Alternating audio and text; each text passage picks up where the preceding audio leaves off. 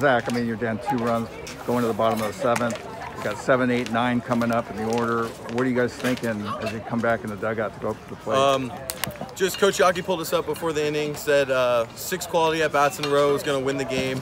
So we knew as long as we stuck to our approach, uh, we were going to come out with the win. And luckily, everybody, Mateo Blandino led off the inning with a great walk, like an eight pitch walk.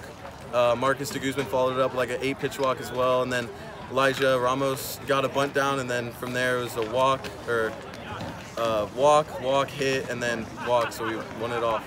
It you get the hit. I mean, what what were you looking for at that at that point? I mean, I know you had some you had a big at bat earlier in the game, and I, you were probably frustrated that you didn't you didn't uh, you came out I think Yeah, definitely. Um, well, early in the game, I came up in that clutch situation. I uh, did try to do too much.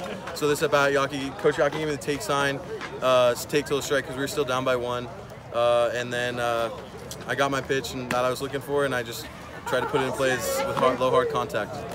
Did you think you hit the winner? What's that? Did you think you hit the winner? No, I wasn't focused on that. I was just trying to get the next guy up. Just get the next guy, which you did, Yeah. and, and you got the walk, and you got the win, and this guy takes the walk, Yes, sir. and Just team Celebrating. effort. Team effort. team effort. Uh, championship game, Valley Christian Yeah. hammers uh, Palo Alto today, 10 to three. Uh, you played them a number of times, probably more than you care to even count. Yeah. Uh, beat them in that WCAL tournament final. I'm sure they're going to be itching to repeat as champions again. Yeah. Um, what's it going to take?